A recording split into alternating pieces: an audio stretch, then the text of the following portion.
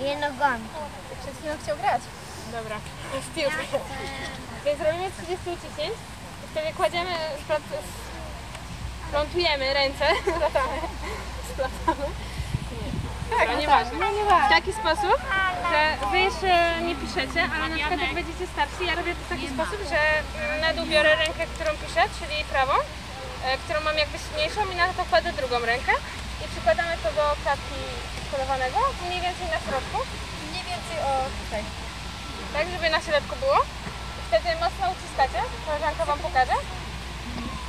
Mocno uciskacie i ważne jest, żebyście mieli zablokowane e, łokcie, żebyście Wam nie uginały, bo jak ja wiem, że jesteście malutcy i Wam by było ciężko, ale mamy też tutaj do mniejszego, to sobie popróbujecie na tym mniejszym, koleżanka Wam potem pokaże.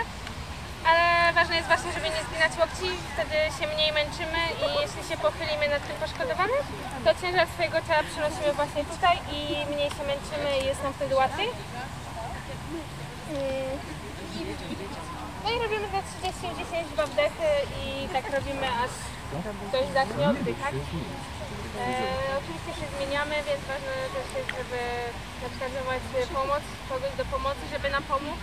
I najważniejsze też, czym nie powiedziałam, to jest, żeby zanim w ogóle przystąpimy do udzielania tej pomocy, żeby zadzwonić na karetkę. Czy ktoś z Was zna numer na karetkę? Tak wiem. 999, tak? I jaki jeszcze? 100? Ile? Ogólny numer jaki? Mieliśmy ostatnio. 112, super. A na który byście dzwonili? 999 czy 112? Podpowiem, że 112 jest taki ogólny alarmowy, 100, a 999 jest na pogotowie. To na który byście dzwonili? Super. A dlaczego? Tak wybrałaś. Tak po prostu? Ci się bardziej poda ten numer?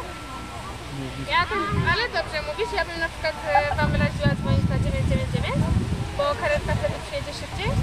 Na przykład jeśli to by był jakiś wypadek samochodowy, gdzie są potrzebne też inne służby, to wtedy e, tam pani, która odbierze od Was jak zadzwonicie po 999, wyśle i tak służby, a karetka będzie szybciej na miejscu.